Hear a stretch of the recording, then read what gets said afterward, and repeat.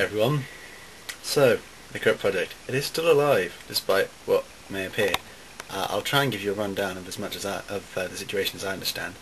Uh, John's, I think, stopped. I, I, haven't really been able to get a, a, straight answer out of him, but he's he's got all his exams and stuff on university and so on, so uh, he's he's decided to put that first, which is is, is perfectly acceptable.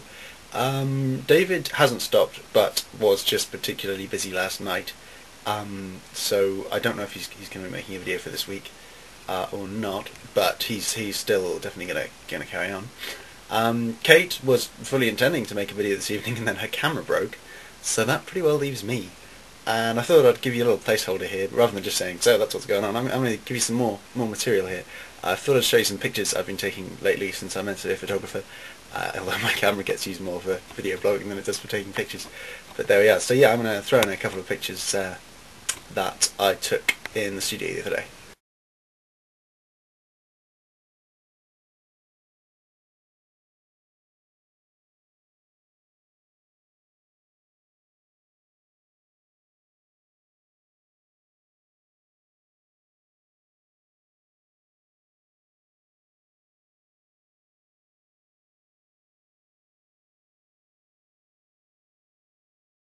Thing about these images is that, without meaning to sound big-headed, people like them, you know, people think they're great images. I mean, I don't know if you guys like them, I'd love to hear some feedback, but uh, I think they're fantastic images. I'm really happy with the way they've come out. Andy, who's in the images, um, he's really happy with them too. And any magician or performer, you know, I could do that in another field, would be really happy with them. That's great promotional material.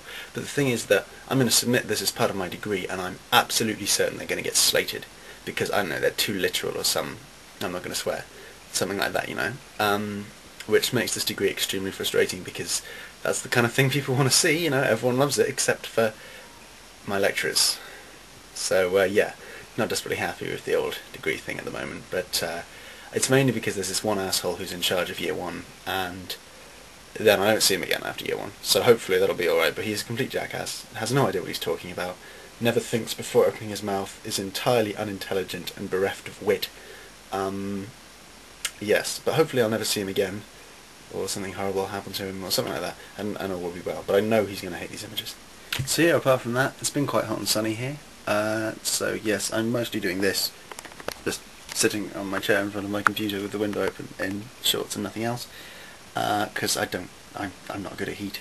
Cold, I love cold, I'm just not, not good at heat.